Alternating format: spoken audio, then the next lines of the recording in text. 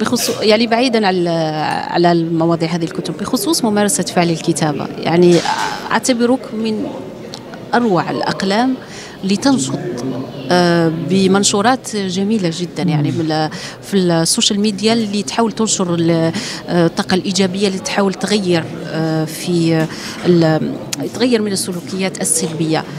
هل تكتب كل يوم؟ والله أنا أشعر برغبة جامحه في الكتابة.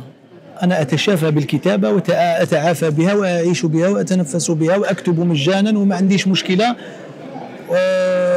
أكتب آه، مزاج هو المزاج. لما نكون يعني في مزاج جيد أستطيع أن أكتب مذكرات وأكتب يوميا يعني ما عنديش إشكال. واحيانا لا أحب الظهور كثيرا. فأكتفي صحيح. فأكتفي بمنشور واحد وأملأ يعني بعد المنشورات املا يعني التعليقات بمنشورات حتى لا أظهر كثيرا. أنا من النوع الذي لا أحب الظهور كثيرا. ف استغل لكن مليح منين ذاك؟ مرة على مرة تطل على المتابعين لا لا معليش يكفي أنه الناس تقرأ لنا وإذا قرأ لك إنسان وأعجب والله اتبع هذاك الطريق فنحن له من الناصحين.